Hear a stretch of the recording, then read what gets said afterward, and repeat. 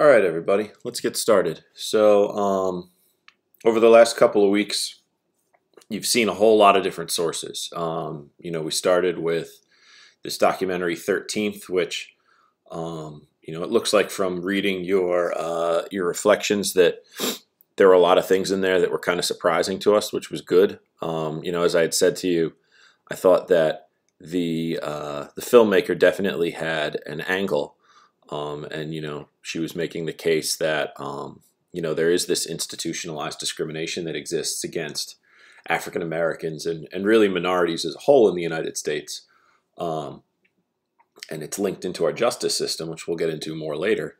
But um, but also a lot of you guys commented about um, some of the things in terms of like visuals and like media representations. Um, you know, a lot of people commented about how uh, how shocking some of the the portrayals of um, black men as being sexual predators were, um, and uh, and in general, kind of the violence that we see associated with with African Americans as a whole in media um, throughout you know the last hundred years has kind of created this this stereotype, right? Um, so I thought it was good that obviously you guys picked up on it, and that it was it was shocking how um, how uh, how prevalent it has been for literally over a hundred years, um, and uh, and and I agree with you. So I wanted to start even before we got into some of the the content. Um, you know, you guys read about um, kind of the origins of race in the United States and in America, and we'll look at some of that today as well. Um, but something that overlaps all those that I thought was kind of interesting that I wanted to show you um, were some of the depictions of race um, in like the scientific community going back into like the 17 and 1800s. Um, so, uh, so here, so let's take a look at some of this. Um, so, like I said, these are all images that come from either um, like old science textbooks or like you know we we call pseudoscience, right? Kind of made up science from uh, from the 17 and 1800s, and I think they do a good job of showing um, how, in a lot of ways, um, you see a whole bunch of different kind of segments of society coming together and creating um, these understandings and these conditions that lead to um, a lot of the issues we have with with racism and discrimination today. Um, so what you're looking at here is an image that's describing um, or attempting to describe where different types of people come from in the world. Um, this is kind of like an 18 and 1700s version of what today you might call anthropology. Um, this has no connection to modern anthropology, though. All right. Um, and you see, there's a few things that they point out. Um, obviously, it's black and white, but um, you see the with the map of the world, um, they have it shaded in these different colors, and each one of those different shades is meant to denote um, basically where like a different race originated.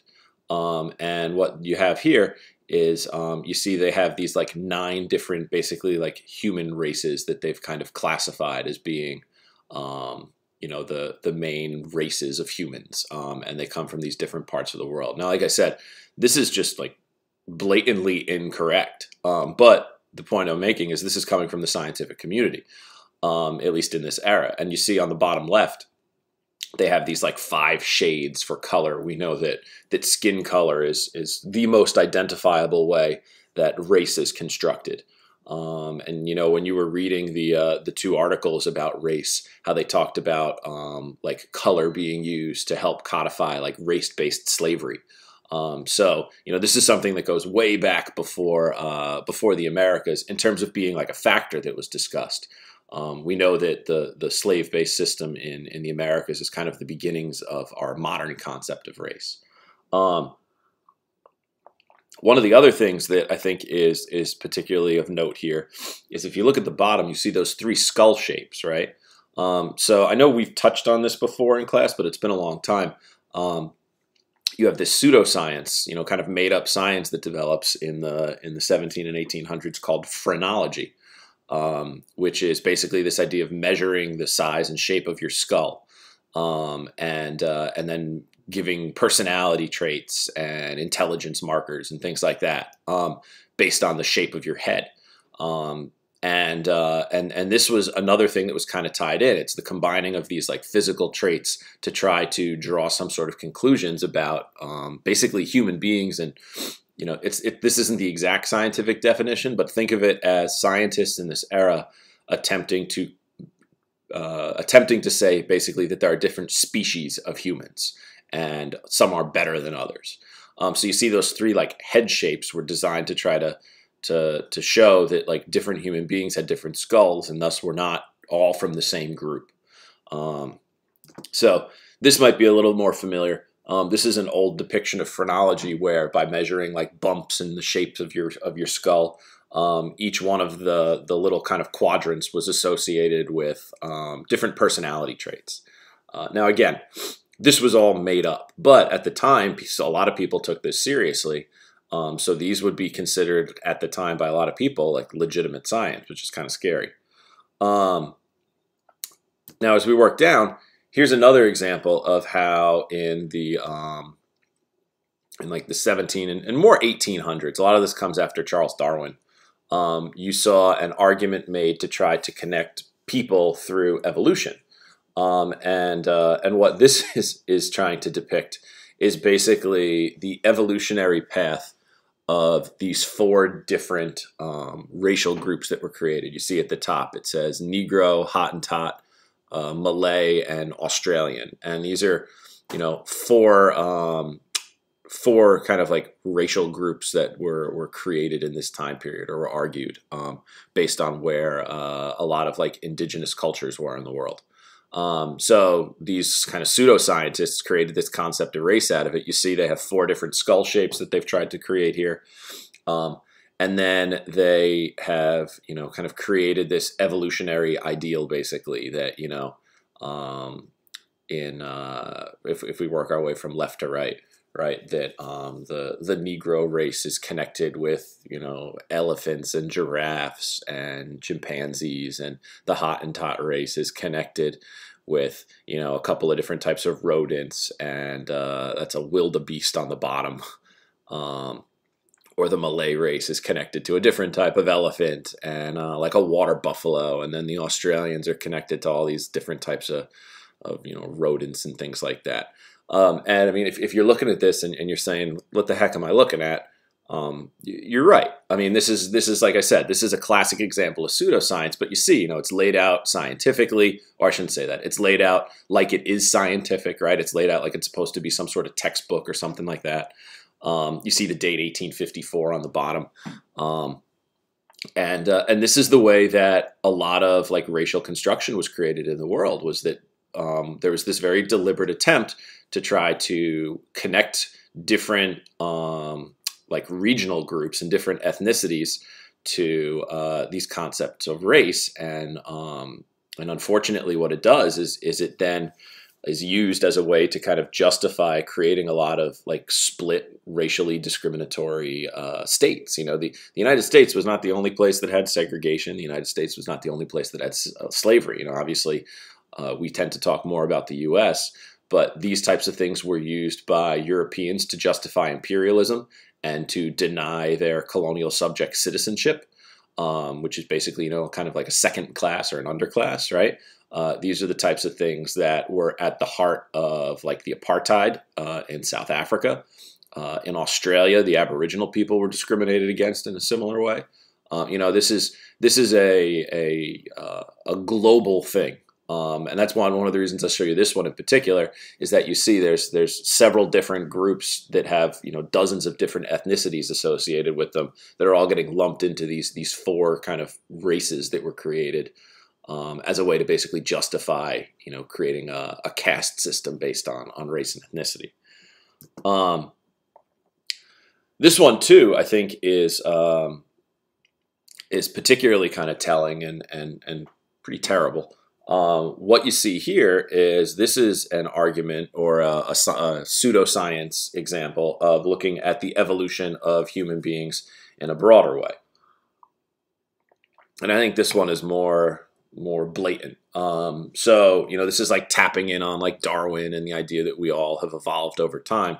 But you see you know the, the argument in this this image is that yes man has evolved out of of ape right of chimpanzee but they go from ape to you know an aboriginal figure that's supposed to be a reference to like aboriginals from um, like australia um, to a uh, an african to a native american uh, to this kind of generic what that's supposed to be um, obviously it's kind of an odd image but that's supposed to be basically the in, in the 1800s the um, like prototypical uh, East Asian basically, um, and then to a Caucasian, right, a person of European descent.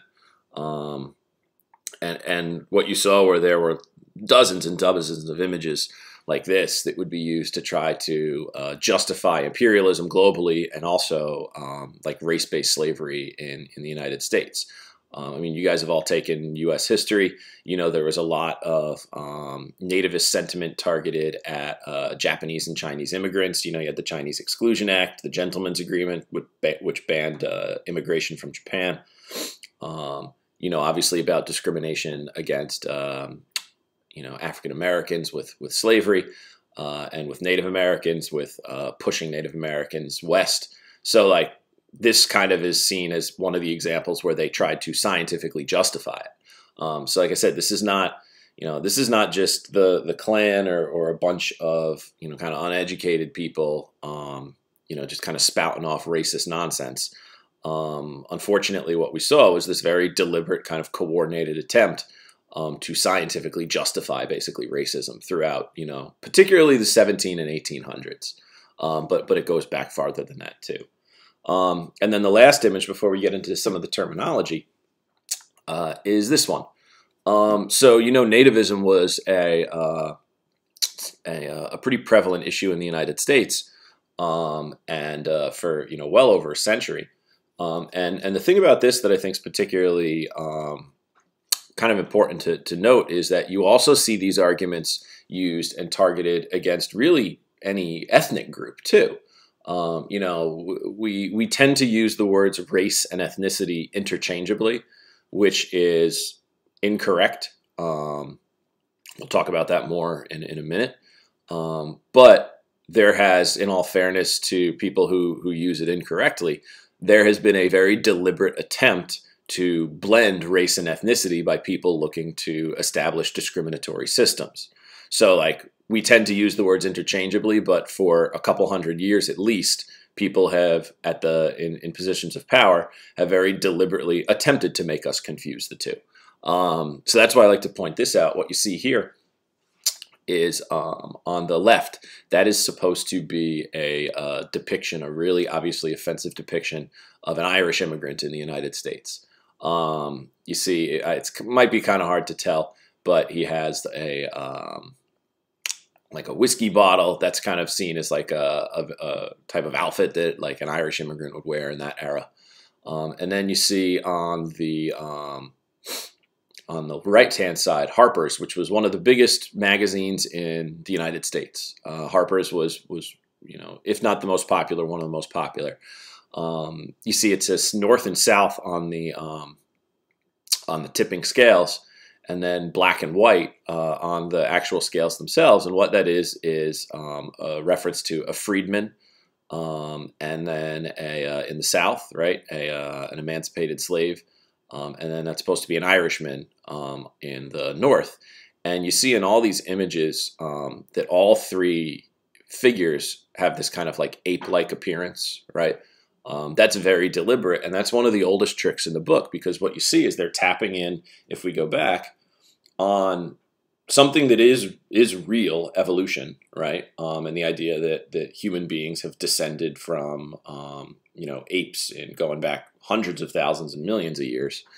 Um, but they're taking that and now they are trying to distort it um, and associate it with race to say that different racial groups and ethnic groups are evolutionary superior or inferior to each other.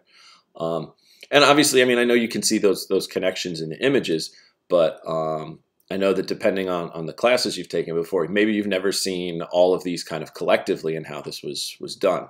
So that's why I wanted to kind of show you those, especially given some of the feedback that um, that you guys were giving me from uh, from in particular watching the uh, the thirteenth documentary. Um, so, kind of going back to what I was saying, um, a lot of this has to do with the really intentional blending of two things that are different: race and ethnicity. Um, so let's uh, so let's talk about those. Those are really the main two things we're going to look at today. Um, so uh, when we look at race and ethnicity, um, let's start with race. Uh, race, simply put, is a made up thing. All right. Now, that doesn't mean that it doesn't impact society today. That doesn't mean that it is something that, um, you know, doesn't impact the way that our system works. Obviously, it does. Uh, but that doesn't change the fact that race as a concept is something that was created. All right. It is not scientific. Um, and as you read in those articles that I had you finish up for, um, you know, over the past couple days, you know, a lot of it was done very deliberately to create a power system. So, um, race in its purest sense, um, if you want to kind of define it, is basically um, a system that creates societal views about the superiority or inferiority of different groups. All right, race has always been used as a way um, to create uh, a hierarchy, a, a caste system, to use a term that we've talked about before. Um, and race is um, almost always rooted in what we would call subjective characteristics. You know, we've talked about this all year subjectivity versus objectivity. Um, and you know trying to apply objective or scientific methods to address social problems as opposed to subjective ones. Um, you know things like ethnocentrism are subjective. Um, and uh, and so race is an example of this. Um, physical appearance if you think about it is subjective right? Um, obviously you know the the one we talked about before skin tone right or skin color um, that is something that is relative right? Um, when you look at things like height all right that has been used in the past. Um, like frame all right you know how muscular people are how big of a frame people have has been used in the past. Eye color has been used in the past. Um, you know any sort of physical trait is typically a telltale sign that someone is trying to make a, a racial argument as opposed to one that is based on ethnicity which we'll talk about in a second. Um, you also see when we talk about subjectivity perceptions of, of behavior and when i say not scientific what i'm getting at is this um, really perceptions of behavior with race tend to do with stereotypes. Um, you saw a lot of this in the 13th documentary. Um, the kind of deliberate creation of this idea of the, the violent, aggressive black male. Um, and then attributing to, um, you know, all black people this idea of aggression. Um, that's a perception of behavior, right?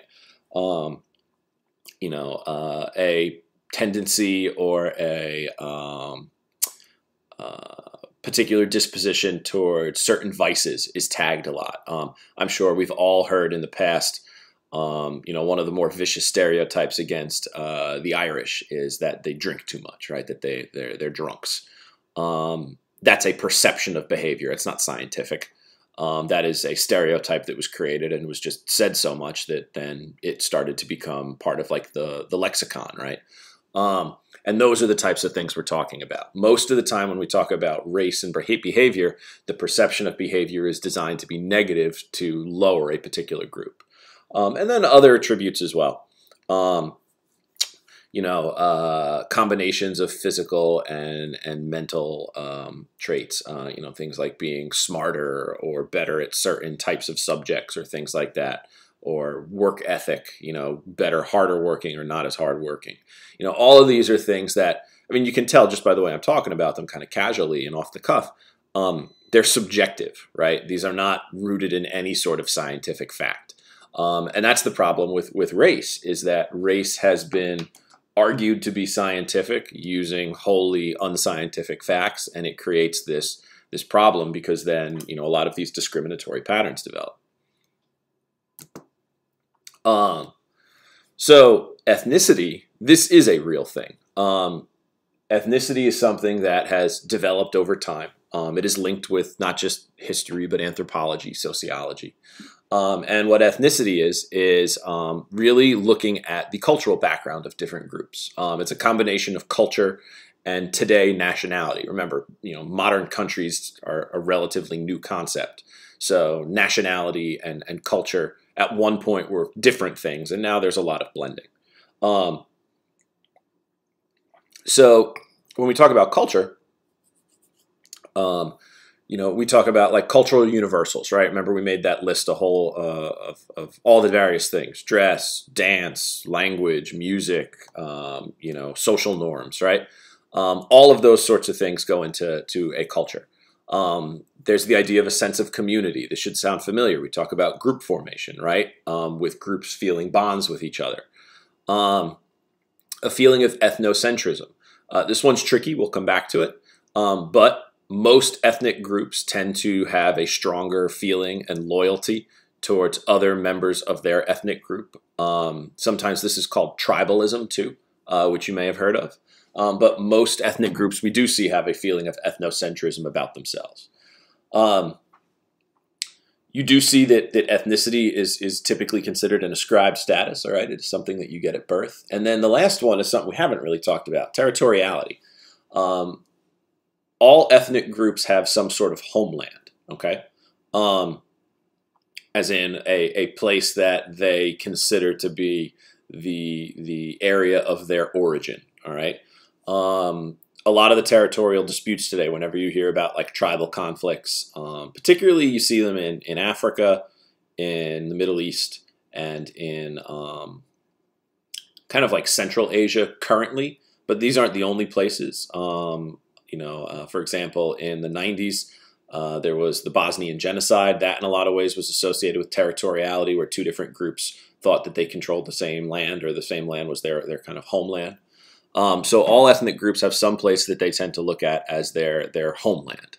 Um, and when you combine all these, um, ethnicity is is something that can be um, really kind of scientifically looked at and, and documented. Um, now you'll see here, there's nothing about physical traits, and this actually goes back. If you remember, we talked about John Locke and tabula rasa, right? The clean slate. Um, when you are born, you are a blank slate, and then everything gets loaded afterwards. So what we're getting at here is, regardless of, you know, maybe the the kind of like anthropological origins, um, you know, someone who has uh, European ancestors, what this would argue is that if someone's ancestry was European, but then they were born and raised in a uh, an ethnic culture in the Middle East, in Africa, in East Asia, wherever, it doesn't matter, they would identify with the ethnic culture of wherever they were raised, as opposed to where their their ancestors were from. All right, um, kind of getting back to the idea that ethnicity is rooted in you know upbringing and um, you know what happens once you're born, as opposed to like who you're born to, if that makes sense. All right. Um, and uh, and then the difference in all of this kind of lies in you know the various forms of prejudice we see. Um, and you can see why there would be some blending, because obviously there are some overlaps in the way that we hear people talk about race and ethnicity, even though they are these distinctly different things. Um, so some of this is probably, uh, you know, kind of a given, and you know this already. But I just wanted to make sure we had this for when we go into the the next uh, the next talk that you'll be looking at tomorrow. Um, so prejudice, in its broadest sense, is just negative attitudes or generalizations, um, and in this case, about like racial or ethnic groups, right? Um, and you can kind of look at these as, uh, in a lot of ways, like a flow. All right, um, ethnocentrism a lot of times leads to stereotyping, and then stereotyping often leads to things like racism. Um, so ethnocentrism is, you know, as we've talked about in, in prior months, the the belief in the superiority of your own ethnic group. Um, every ethnic group has this. Okay, it's stronger in some than others historically, um, but every ethnic group has demonstrated elements of ethnocentrism throughout its history that in itself is not necessarily a problem as long as that community kind of keeps it in check. The problem is when ethnic groups start to look at each other and things like stereotypes develop, right? Well, I believe my group is superior because of X, Y, and Z reasons. And now I'm going to stereotype this group as being inferior to me for A, B, and C reasons, right? Um, and that's kind of this idea that, you know, you start to overgeneralize people that are in ethnic groups that are not yours. Um, and again, this happens at a societal level. This is not necessarily something that is happening in every individual of a group. Um, and then ultimately, this leads to things like racism, where you know a basically belief system is developed within one group that is created to justify um, treating other groups in an inferior way. And to go back, um, if we scroll back, this is what I'm talking about, right? To kind of bring it on home to what we were looking at in the beginning. These are all examples of ways that you create a belief system to justify treating other groups below whatever group you belong to. Um, and these are all examples from the Western sense, either from European or, uh, or American sources. Um, and, uh, and what we're going to be getting into is how all of these kind of ideas, uh, you know, over the next few days, how all these ideas develop, all right, how ethnocentrism, stereotyping, and racism develops in a society. We're going to look at some specific examples in the United States. Uh, and and then ultimately, you guys are going to analyze some some examples of your own choosing, but that's that's a little ways off. Um, all right, so that's all I wanted to do today. Not too long, um, just kind of an intro. Uh, tomorrow we'll have another uh, another presentation where we'll look and we'll get into the depth of uh, of some of these things. Um, but uh, hopefully that was a good intro. Hopefully that cleared up some things for you guys from the documentary and some of the questions that were brought up from some of the readings. And and that's that. So I will I will talk to you soon.